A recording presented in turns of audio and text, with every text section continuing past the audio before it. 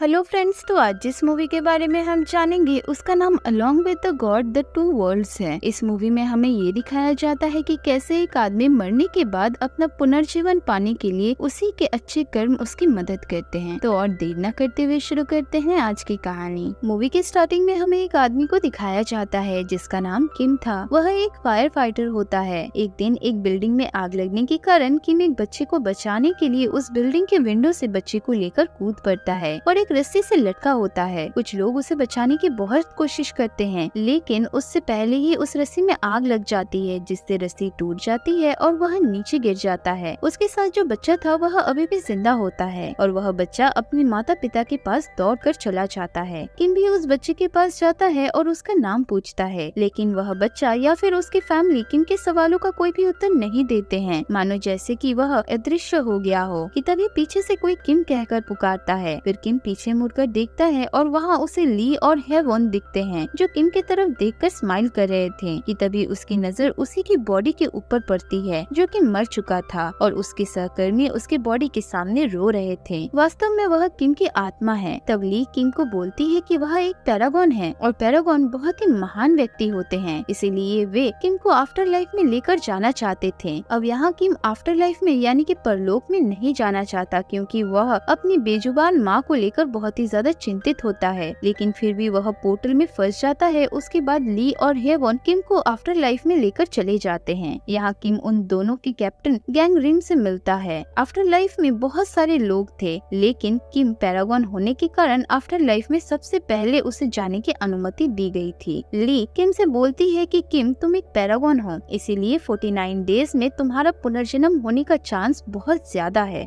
जैसे ही किम after life के अंदर आता है वहाँ का दृश्य दृश्य देखने पर उसे नर्क के जैसा लगता है ये फर्स्ट ट्रायल होता है जिसका नाम हेल ऑफ मर्डर था रिंग बोलता है कि एक पैरागॉन होने के बावजूद भी मर्डर हेल में तब किम बोलता है कि उसने कभी भी किसी का मर्डर नहीं किया तब रिंग बोलता है कि अगर किसी की मृत्यु तुम्हारे वजह से हो तो उसके लिए भी तुम्हारी गलती मानी जाएगी ली के पास एक स्पेशल पावर होती है जिससे वह देख सकती है कि एक इंसान अपने पूरी लाइफ में कौन कौन से पाप किए हैं और वह देखती है कि किम की वजह से उसके कली की मौत हुई थी उसके बाद तीनों गार्डियंस किंग को गॉड ऑफ मर्डर के पास लेकर जाते हैं जहां हम देखते हैं कि बहुत सारे इंसानों को जलते हुए आग में छोड़ दिया गया है क्योंकि उन्होंने किसी न किसी की हत्या की होती है हेल ऑफ मर्डर में किम को हत्यारा माना जाता है क्योंकि समय रहते उसने अपने कलीग को नहीं बचाया था और उसे पाँच सालों के लिए आग में जलने की पनिशमेंट दी जाती है हालांकि गैंग रिन कर्मा के मिरर में दिखाते हैं कि किंग ने उस कलीग के बदले आठ इंसानों की जान बचाई है एक्चुअली हाकिम अपने कलीग को भी बचाने के लिए गया था लेकिन वह पत्थर से दबा हुआ था जिसके कारण वह उसे नहीं बचा सका कैप्टन गैंग रिम बोलते हैं कि किम ने अपने परिचित कलीग को छोड़कर अन्य आठ लोगों की जान बचाई तो क्या इसलिए उसे पनिशमेंट मिलनी चाहिए ये सुनकर गॉड ऑफ मर्डर किम को निर्दोष घोषित कर देते हैं इसके बाद रिम ली और हेवन किम को second trial hell of ambulance लेकर जाने के लिए रवाना होते हैं तब किम बोलता है कि आप लोग मेरी इतनी मदद क्यों कर रहे हैं तब ली कहती है कि सौ साल पहले किंग यमुना ने हमसे प्रॉमिस किया था कि अगर हम 49 पैरागोन सोल को पुनर्जन्म दिला सके तो फिर हमें भी पुनर्जन्म मिलेगा लेकिन 49 डेज के अंदर उन सेवन ट्रायल्स को पास करना होगा और तुम 48 पैरागोन सोल हो हालांकि किंग अर्थ पे वापस नहीं जाना चाहता था लेकिन ली और बाकी एंजल्स कहते हैं कि तुम ये डिसाइड नहीं कर सकते ये किंग यमोरा डिसाइड करेंगे अब किम ये बात सुनकर परेशान हो जाता है और नदी की तरफ देखने लगता लगता है कि तभी उसके ऊपर कई सारी मछलियाँ हमला करती हैं और एंजल्स उसे इन मछलियों से बचाते हैं और कहते हैं कि कभी अपने आसपास की चीजों को ध्यान से मत देखना नहीं तो तुम्हें मुश्किलों का सामना करना पड़ेगा उसके बाद वे सभी हेल ऑफ इंडोलेंस में पहुँच जाते हैं वहाँ गॉडेस ऑफ इंडोलेंस से पूछती है की क्या उसने अपने लाइफ को ठीक से बिताया है तब कर्मा मिरर में दिखाया जाता है कि किम एक बहुत ही अच्छी लाइफ लीड करता है किम ने लोगों को बचाया है यहाँ तक कि पशुओं की भी मदद मदद की है ये देख गॉडेस प्रसन्न हो जाती है लेकिन किम बोलता है की ये सब उसने पैसों के लिए किया है ये सुनकर गॉडेस नाराज हो जाती है क्यूँकी उसने ये सब काम पैसों के लिए किए हैं इसीलिए गॉडेस किम को हेल ऑफ एंडोलेंस में भेजने का आदेश देती है हेल ऑफ एंडोलेंस वह जगह है जहाँ इंसानों को ठीक रहने के लिए पूरी जिंदगी दौड़ना पड़ेगा नहीं तो भयानक मछलियाँ उनकी मांस नोच नोच कर खाएंगी की तभी रिम और हेवन इस प्लेटफॉर्म को पकड़ लेते हैं और बोलते हैं कि किम पैसों के लिए इसलिए काम करता था क्योंकि उसकी माँ की तबीयत ठीक नहीं रहती थी और अपने भाई को लॉ स्कूल में पढ़ाने के लिए किम दिन रात परिश्रम करता गया वह ये सब सिर्फ और सिर्फ अपने माँ और भाई के लिए करता है ये सब देख गॉडेस उसे नेक्स्ट ट्रायल में जाने की अनुमति दे देती है उसके बाद वे नेक्स्ट ट्रायल के लिए निकल पड़ते हैं जो कि हेल ऑफ डिसीट था यहाँ उन लोगों को सजा दी जाती है जिन्होंने दूसरों के साथ धोखा किया है सभी ब्लेड फॉरेस्ट से गुजरते हैं ब्लेड फॉरेस्ट वह जगह है जहाँ के पेड़ पौधे ब्लेड से बने होते हैं हेवन किम को बोलता है कि तुम खुद को पनिशमेंट क्यों दिलाना चाहते हो तुम्हारा पुनर्जन्म होना तय है क्योंकि तुम एक पैरागॉन हो पुनर्जन्म से पहले तुम अपने फैमिली के किसी भी एक मेंबर के सपने में जा सकते हो ये सुनकर किम चुपचाप बोट में बैठ जाता है क्योंकि वह अपनी माँ के सपने में जाने के लिए उत्सुक था रास्ते में कुछ क्रिएचर्स उन पर हमला करते हैं और एंजल्स डट कर उनका सामना करते हैं और पहाड़ तोड़ कर उनसे पीछा छुड़ाते हैं हेवोन बोलते हैं कि किम के किसी फैमिली मेंबर की मृत्यु हुई है और उसकी आत्मा पृथ्वी में ही भटक रही है जिसकी वजह से किम के साथ ये सब हो रहा है इसीलिए वे किम के आँख बांध देते हैं जिससे किम के ऊपर कोई हमला नहीं होगा कैप्टन रिम इन्वेस्टिगेशन करने के लिए पृथ्वी में जाते हैं और किम के ऑफिस में आंखें बंद करके किम की मौत के बाद जो भी हुआ है वो सब देखते हैं फिर रिम किम के घर जाते हैं और देखते हैं कि उसकी माँ किम की मौत से बहुत ज्यादा टूट चुकी है और कैप्टन रिम को आभास होता है कि किम के भाई की डेथ हो चुकी है और उसी किसी की आत्मा पृथ्वी में भटक रही है और रिम उस सोल का पीछा करना शुरू करते हैं ताकि वह उसकी बॉडी को ढूंढ सके लेकिन रिम इस बॉडी को ढूंढ नहीं पाता उस दौरान एक बूढ़ा आदमी कैप्टन रिम को देखता है और बोलता है कि मेरे मरने का समय नजदीक आ गया है ये बात सुन के उसका ग्रैंडसन बोलता है कि ये सब बातें मत कीजिए दूसरी तरफ किम अपने आँखों से पट्टी हटा कर ली को कुछ बोलना चाहता था कि तभी ब्लेड फॉरेस्ट के बहुत सारे क्रिएचर्स फिर से उन पर हमला करने के लिए आ जाते हैं कि तभी वहाँ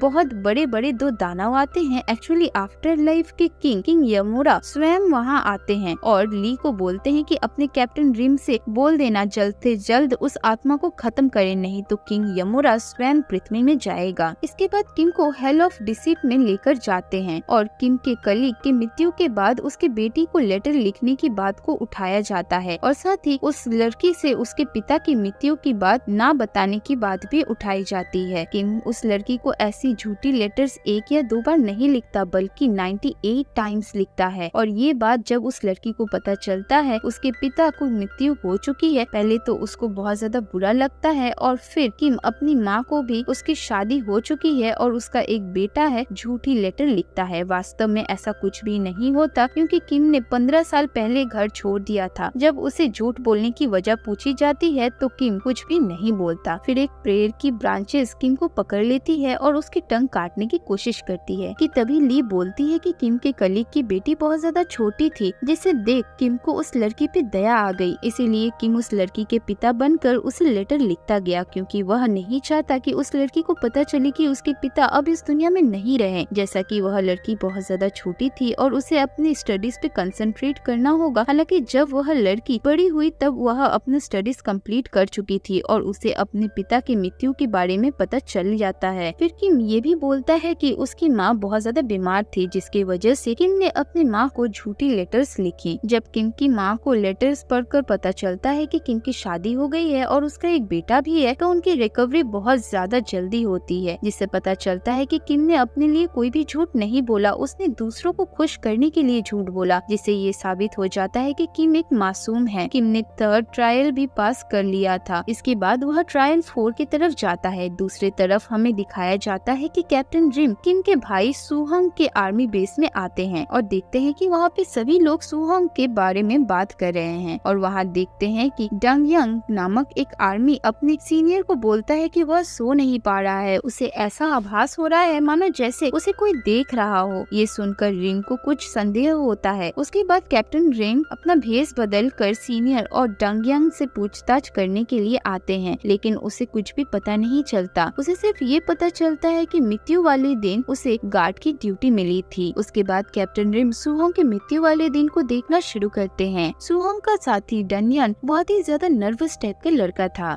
सुहोंग डनियन को हिम्मत देता है और उसे हक करता है और बोलता है की अपने राइफल को ठीक करो डनियन जब अपने राइफल को ठीक करता है तब गलती ऐसी गोली चल जाती है और सुहोंग को लग जाती है तब सुहोंग उसे कहता है की पार्क को बुलाओ और बाकी किसी से भी कुछ मत कहना उसके बाद जब पार्क आता है और सुहोंग को उस हाथ हालत में देखकर बहुत ज्यादा घबरा जाता है और रोने लगता है उसके बाद वह यंग को सब कुछ साफ करने के लिए कहता है इसके बाद कैप्टन रिन देखते हैं कि इन सब के बीच वे सुहोंग के हाथ को नोटिस ही नहीं करते अभी भी वह जिंदा था कैप्टन रिम ये सब देखकर अपने पिछले जन्म की एक झलक देखते हैं जहाँ वह भी एक योद्धा थे और बहुत से मृत शरीर के बीच में वह भी थे पार्क और यंग बिना जाने ही कि सुहंग अभी भी जिंदा है उसे मिट्टी में ही दफना देते हैं और सुहंग की माँ को बताया जाता है कि वह भाग गया है ये सुन उसकी माँ रोने लगती है ये देख कैप्टन ड्रीम फिर से अपने अतीत की एक झलक देखते हैं उसके बाद कैप्टन ड्रीम सोहम के बॉडी को जहाँ दफनाया गया था वो ढूंढने जाते हैं दूसरी तरफ हमें ली और हेवन को दिखाया जाता है जो किम को लेकर नेक्स्ट रॉयल की तरफ जाते हैं और दोनों तरफ बर्फ की पहाड़ होती है और पहाड़ टूटना शुरू हो जाती है किम को समझ में नहीं आ रहा था कि उसके साथ ऐसा क्यों हो रहा है क्योंकि उसे लगता है कि उसकी माँ और भाई पृथ्वी में सही सलाह सलामत है फिर ली और हेवन किम को लेकर एक केबल कार में बैठ कर हेल ऑफ इंजस्टिस की तरफ चले जाते हैं यहाँ उन लोगों को सजा मिलती है जिन्होंने क्राइम करने के बाद पृथ्वी में सजा नहीं काटती उन्हें यहाँ बर्फ में जमा कर पनिशमेंट दिया जाता है ये दोनों ट्रायल ही किम के ऊपर लागू नहीं होते क्योंकि किम ने किसी के साथ भी अन्याय या फिर किसी को भी धोखा नहीं दिया था इसीलिए किम आसानी से ही ट्रायल फोर और फाइव पास कर जाता है रास्ते में जाते वक्त किम बोलता है कि एक बार उसका भाई केबल कार में बैठना चाहता आता था लेकिन किम ने उसे केबल कार में बैठने नहीं दिया और ऐसे ही बातों ही बातों में हेवन बोलता है कि किम के भाई की मृत्यु हो गई है और उसकी आत्मा पृथ्वी में ही भटक रही है हो सकता है कि उसकी आत्मा को पृथ्वी में ही खत्म कर दिया जाए और वो कभी भी आफ्टर लाइफ में ना आ सके ये सुनकर किम आश्चर्यचकित हो जाता है की तभी केबल टूट जाती है और ली और हेवन गिरने ही वाला होता है की तभी किम फायर फाइटर जैसे उन्हें बचाने की कोशिश करता है क्यूँकी वह जल्द ऐसी जल्द अपनी माँ के सपने में जाना चाहता था क्योंकि वहाँ पृथ्वी में उसकी माँ अकेली है दूसरी तरफ कैप्टन रिम शुभम की लाश को मिट्टी से निकालने की कोशिश करते हैं कि तभी वहाँ हेवन आ जाता है और बोलता है कि आप सुहम की आत्मा को खत्म क्यों नहीं कर देते हैं तब कैप्टन रिम कहते हैं कि सुहम की माँ को कभी भी उसके बारे में पता नहीं चल पाएगा इसीलिए वह सुहम की बॉडी को उसकी माँ के पास पहुँचाना चाहता है लेकिन हेवन रिम ऐसी लड़ने लगता है दूसरी तरफ यंग बहुत घबराया हुआ है इसलिए पार्क उसे छुट्टी देता है क्यूँकी कुछ दिन बाद ही उसका प्रमोशन होने होने वाला है और वह नहीं चाहता कि उसके ऊपर कोई भी इंक्वायरी हो यहाँ सुहंग की आत्मा भी मौजूद होती है लेकिन कैप्टन रिम को देख वह आत्मा भाग जाती है कैप्टन रिम यंडन का पीछा करता है उस रात को वह बार में दारू पीकर डांस कर रहा था वहाँ सुहंग की आत्मा उसे मारना चाहती थी लेकिन कैप्टन रिम को कर वह फिर से भाग जाता है कैप्टन रिम उस आत्मा का पीछा करता है और उसे पकड़ लेता है और उसे बोलता है कि अगर वह अपने बदले की इच्छा को त्याग दे तो उसे पुनर्जन्म मिल सकता है लेकिन सुहांग उसकी कोई भी बात नहीं सुनता तब कैप्टन सुहांग को बोलता है कि उसके इस व्यवहार से आफ्टर लाइफ में उसके भाई को बहुत सी कठिनाइयों का सामना करना पड़ रहा है तब वह बोलता है कि कौन सा भाई जिसने पंद्रह साल पहले ही घर छोड़ दिया था और फिर कभी भी लौट कर नहीं आया कैप्टन उसे बोलता है कि मैं तुम्हारी पीड़ा को समझ रहा हूँ तब सुहांग बोलता है कि तुम मेरे दर्द को नहीं समझ सकते हो उन लोगों ने मुझे जीते जी मिट्टी में दफना दिया और उस रात मुझे मिट्टी तक बहुत ज्यादा कष्ट हुआ ये सब सुनकर कैप्टन रिम को अपने अतीत जीत की झलक दिखती है जिससे वह कमजोर पड़ जाता है और सुहंग अपने शक्ति का प्रयोग करके वहाँ से भाग जाता है और हम यन डंग को देखते हैं जो सुहंग के माँ के पास जाता है और उसे एक मैप देता है जिसमे सुहंग की बॉडी जहाँ दफनाई गई है उसका पता है उसके बाद कैप्टन रिम आफ्टर लाइफ में जाकर बोलते की कि किंग पंद्रह सालों में एक बार भी अपने घर नहीं गया तब हेवन बोलते है की आप सुहंग के आत्मा को खत्म कर दीजिए तब किंग कैप्टन रिम के पैरों में गिर जाता है और बोलता है की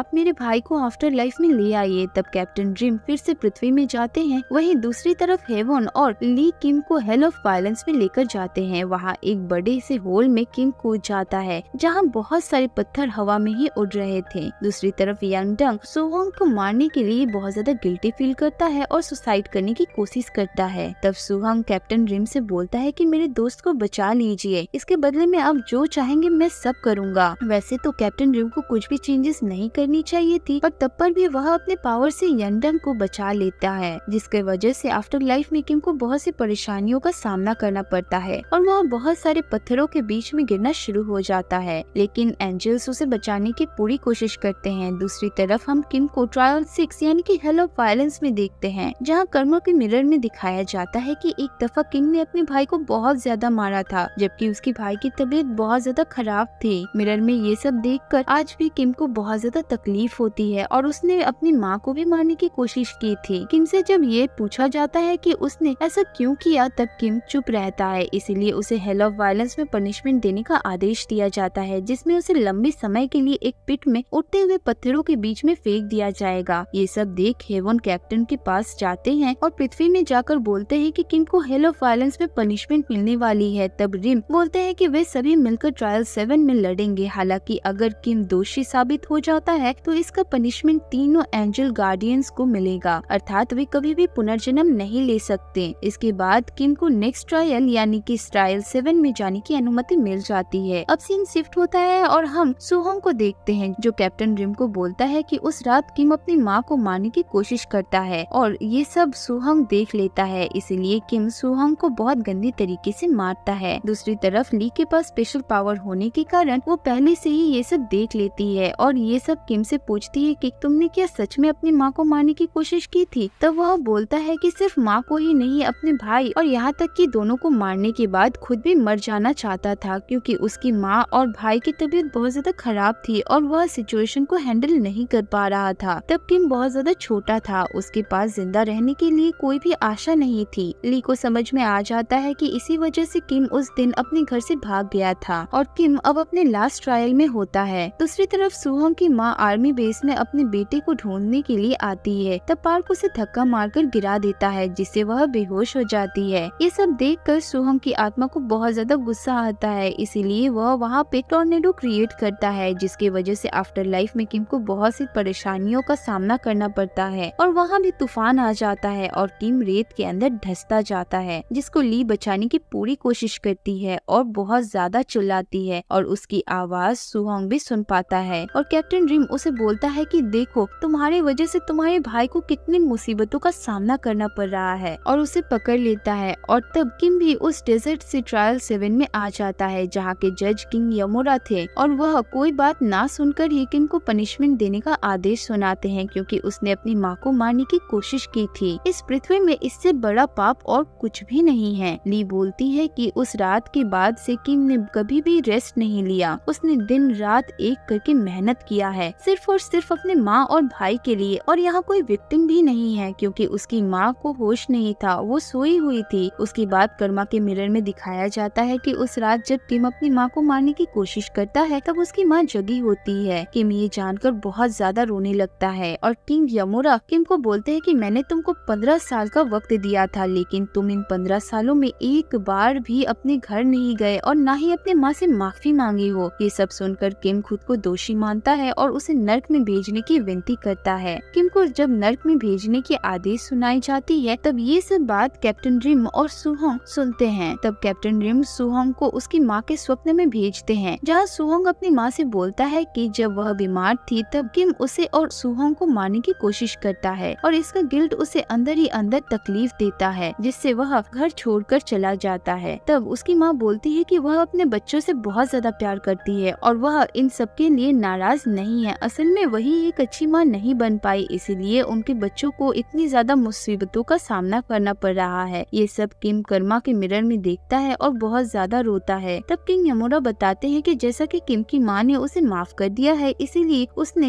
ये ट्रायल भी पास कर लिया है और वह अब पुनर्जन्म पाने के लिए ली को बाई बोलकर चला जाता है इसके बाद हेवन कैप्टन रिम को बोलता है कि अब सुहोंग की आत्मा के साथ क्या करना है तब कैप्टन बोलते हैं कि उसे भी आफ्टर लाइफ में लेकर जाना पड़ेगा एक्चुअली सुहोंग भी पैरागॉन होता है और ये कहानी यहीं पर एंड हो जाती है थैंक्स फॉर वॉचिंग